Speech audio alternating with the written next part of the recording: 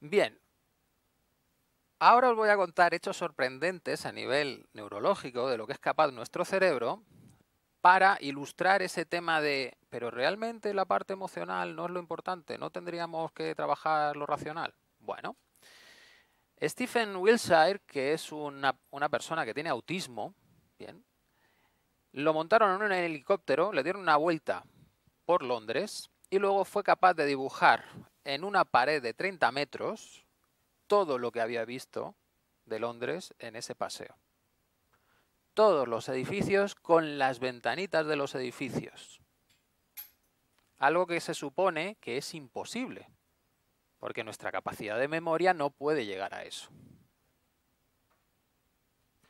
A ver, si es imposible y alguien lo ha conseguido, ¿quién está equivocado? Y aquí llega la maravillosa argumentación. No, hombre, es que es una excepción. Ole. Ole.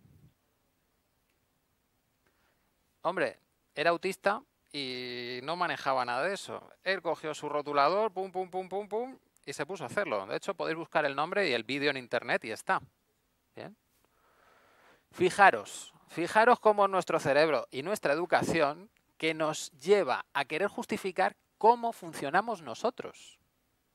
Y a decir que lo que nos pasa a nosotros les pasa a todo el mundo. Y si no, es imposible.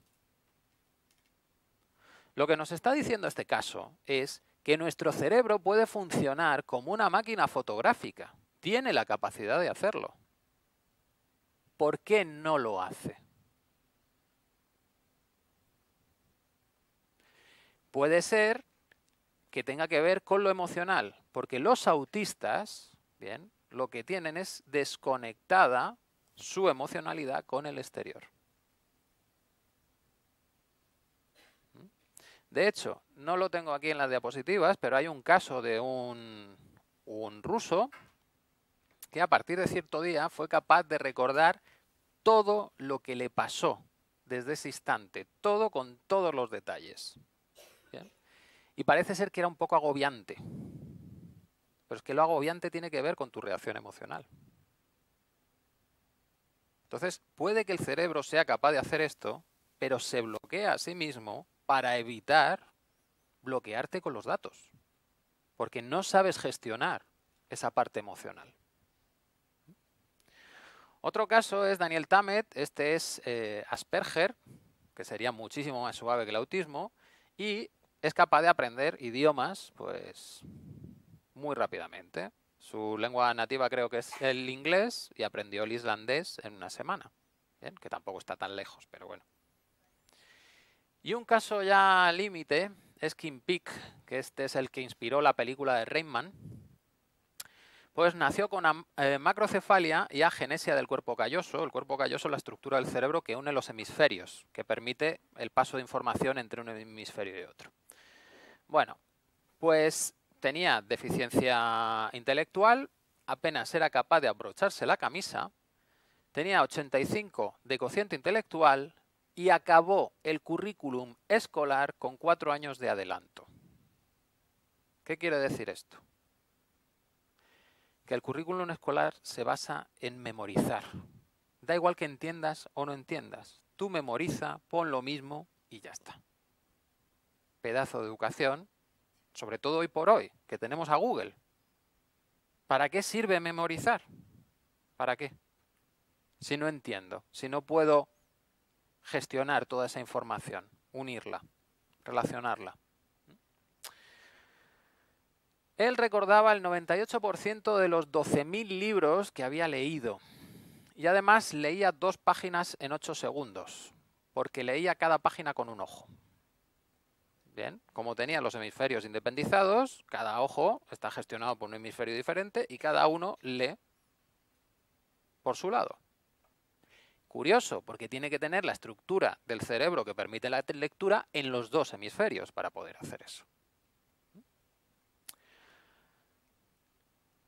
Tenía conocimientos que abarcaban desde la geografía, literatura, música, historia y era un GPS. Tú le decías una calle de una ciudad, la calle de otra ciudad y él te decía por todas las calles y carreteras que tenías que circular hasta llegar.